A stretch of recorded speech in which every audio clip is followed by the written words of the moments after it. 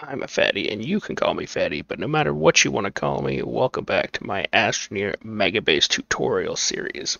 In the last episode, we went over the modular power setup that I use to power this base. In this episode, we're going to dive into the meat and potatoes of the base, our automated sortation system and printing room. First, I'll walk you through the general layout. Then, we're going to dive into the auto arm alignment, the logic that we need for our setup, and how you can build this setup as well. After that, I'll show you the printer room with our custom resource ordering system and walk you through how I set this up, and then I'll give you hopefully enough of an understanding that you can set this up on your own home world. Once we finish all that, I will show you what it looks like once you put it all together. To start everything off, we have our rail right here that is going to feed in from the upper floor, uh, which would which should be coming in the next episode. But all of our finished resources are going to come down here and then stop at this train station. From there, they'll be unloaded and they'll go down this belt here, and each of the resources will pull off at its designated location. The inner portion of this belt is where we're going to be doing our resource ordering system. You can see it here. Uh, this belt here is going to be the one that pulls everything uh, over to the printer room. So we've got two separate belts for that, and I will show you how to set that up. As you can see, we've got two belts. We've got the purple belt and the green belt. The purple belt is going to be the induction for the system, so everything is going to move down here from the train station, and then this auto arm here is going to pull off the designated resource and put it in the canister. The green system is going to run parallel, and this is going to pull off the resource whenever we want to use it. So if we need uh, if we need compound or whatever's in here, then this auto arm will be triggered and then unloaded onto here, and then this belt will continuously be running to pull everything over to the printer room. One thing to note is that this auto arm here, uh, it has to load into the canister right here at the top. So make sure that this circle here is facing the auto arm and that it's not too far away. Um, if you get it too close here, it will not be able to put it up there, so you have to make sure that it's back just a couple of, just a, just a little bit. Um, and then that should be able to place into there. And then this can be as close as you want, and it'll just pull from the bottom there. Also, make sure that your belts do not overlap. So uh, this is all just going the same way. So when you're facing this way, looking at the canister, you should have green, green, green, and a blue. And then this would be for the next one. So there's three greens and then a blue. So one, two, three, and then the blue, and then one, two, three, and then the blue. On the corners, you don't necessarily have to do it the way that I did it. I think I did it a different way each time but I generally just try to keep the middle platforms or the middle row lined up with the middle row on the next side, just so that I know that when I'm dealing with these belts, I don't have to worry about which one I'm working on because I know that the outer belt is going to be the induction belt and then the inner belt is the printing room belt. Before we get into all of the logic portion, uh, I want to talk about best practices for pins because this is pretty in-depth process, and uh, I I did have to redo almost all of the logic in the printer room after we initially set it up. So just don't make my mistake and make sure you're paying attention to this. So got a repeater here. This pin, um, I would say if you can, always tether before you stick it in just so that if you do have to redo those then it's not a huge hassle to run back and forth. But make sure you put it in the side of the switch uh, not on top. If it's on the switch face it does not sit fully sometimes.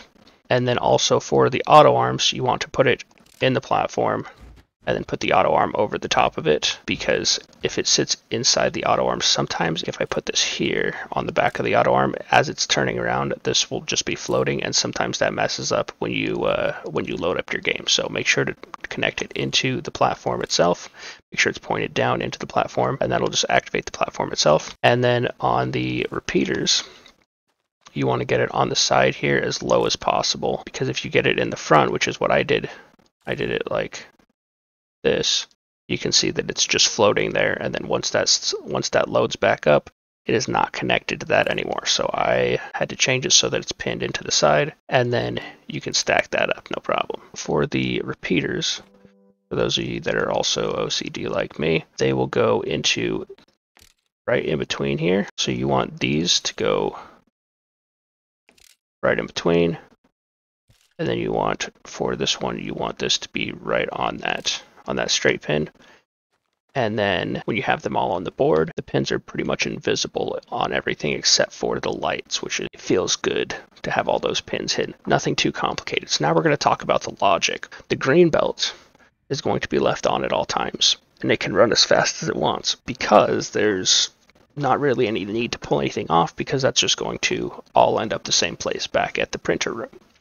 So all we need here is we need this auto arm here that's pulling things out of the canister to turn on and off when we order resources from the printer room. So these auto arms in the middle are not going to need anything, and neither will these pulling off because that can pull off and load into the canister as fast as it wants. However, for this purple belt, what we are going to need is we are going to need a delay setup that will turn these auto arms on and off and give time for the auto arm to pull off the resources that it needs. I think we are ready to get into it then. So first we're going to talk about, first we're going to talk about this. All right, so what we have here is we have our light that will indicate whether we are still pulling that resource. So if that auto arm is enabled, then that light will be on. Uh, we've got our resource for reference. We've got a delay repeater, which I'll talk about in just a minute. And then we've got our button repeater. Our button repeater is going to trigger the auto arm, and then it'll count and count. So since these are in series, then what we're going to have is it'll be 2 times 2 is going to be the smallest number that we can have. So the most we can have would be obviously 8 times 8 for 64 is the most that we can order. So these delay repeaters are all set to a one cycle delay. Now this consolidates everything so that the only the only signal that's leaving this board is going through the delay repeater. So if anything if any logic happens on the front, it goes through the delay repeater. So I don't really have to worry about the exchange of signals between the back and the front because it's all either here or it's on the backside. And if the delay repeater is wrong, then I can fix that. But I haven't really had any issues with disconnecting recently, so we will uh, we'll go ahead and get into the logic. All right, so the bare minimum that you're going to need going into this is going to be a button repeater, two count repeaters, and two delay repeaters. This third delay repeater is optional, but I really like using it, so we're going to leave that in for this one. And then you will also need two power sensors. Uh, the first one set to power gained or lost, and then the second is going to be set to power gained only. So how we're going to do this is we're going to put the button repeater we're going to connect this to the delay repeater, and then we'll connect the count repeater to the count repeater, and then this count repeater also to the delay repeater. So everything is feeding through here, and then this signal is going to go into the side of this power switch. Now we don't have any power, so let me grab QT. So we're going to run these through. So it'll be power switch, and that's going to be in the off position to start with. Then we'll run this through here, run this through here. Okay, so this is what we've got. And then I'm also going to put this light here. So everything goes through this delay repeater here. So once we trigger this, the delay repeater will turn on this power switch and enable our circuit. Now, the way that I like to think about this is this enable switch is similar to a, a dam across a river. So when that dam is opened, then the power can flow. Now this looks complicated, but it's actually not that bad. So what this is, is we have our two delay repeaters. These are creating the same cycle that we created over on the other side, just turning the auto arms on and off. Now that is, uh, I like to think of it as the, the water wheel. So it turns as soon as the river starts flowing. Now the only reason we have this is that when the cycle is triggered again, then we're going to have power go to this power sensor and toggle that on and that power gain trigger is going to track the number of cycles that we have. That's how we're going to order a specific number of resources. And then this light just lets us know whether or not the circuit is enabled. So that is everything that we've got. All right, so we've got our power coming through here. The default position for this is going to be in the on position. When power is gained, uh, let's let's set this up real quick. So we're going to have 25 on this one, and this one doesn't have to be a very big number at all uh, because we're not waiting for anything to happen in the second cycle like we are over here where we're waiting for this other auto arm to grab it. So five is fine on this one. You could do even less, but I just like the round number. Uh, so we've got five here, 25 here. So what we're going to do here is we're going to take this power gained pin. We're going to tether it and then connect it into there. So that's our first one. Then we're going to have this one, which I am going to put down here. And that's going to branch up to the power switch. And then it is also going to start the next circuit. And then this one here is going to come down right there. And the only thing that it has to do is turn the power back off. So 25 cycle is going to be started off of the power gain. Then we're going to start this second cycle and we're going to turn the power off. Then this is going to turn the power back on, and then when the power goes back on, the power sensor will start the cycle again. As soon as we have power going into this, you'll see the cycle start. And then it's turning off and back on just like it should. The way that we're triggering this is with the delay repeater, as with when we press the button. This time it's going to be the count the count repeaters that are turning it off. So we're going to branch this segment pin. Remember, this is the power gain, or in other words, this is our counter to count the cycles. So we're going to take this segment pin, put it in the side of the lower count repeater, and then we should have a working circuit. So now let's try this out. So we've got we've got it set to two and two, so we should have four total cycles. So let's start off. That's one. That's two. That's three cycles. And that's four cycles. All right, so we know that works correctly. And it does do one extra cycle, but nobody cares, okay. You may have noticed that I forgot to turn the, or plug the light in, so let's try this again. So we've got our button repeater, which is gonna trigger our delay repeater and turn on our enable. Then this will turn on our light, and then we'll start our cycle. Each cycle is going to be counted here and then kept track of over here on these two count repeaters. So we should have, we've got this set to two and two, so we should see four total cycles. Also notice that since this is enabled, once this goes on, that will be the start of our first cycle. So let's go ahead and go. All right, that's one. That's the second cycle. That's the third. And the fourth, and our light also goes off, so that looks good. Now that we've got our basics set up, I'm going to show you how to put this into into your actual network. Fatty the editor here. Uh, I was editing my video and I realized that I left out the important piece of how to connect everything to the delay repeater. So this should be uh, almost a mirror image of what we were set up initially. Uh, we've got our power gain lost with the pin over here on the left, and then we have uh, on the inner side, we have the off cycle, which should be set to 5. And then on the bottom, we have the 25. So you're going to take the pin from the 25 uh, delay repeater, and then from the power gained or lost, which you can see is right there. You'll connect both of those in and then run that. Uh, I have that connect connected to a delay repeater here with just a cycle of one to consolidate the signals and then just ran that out. I also wanted to show you how to integrate everything.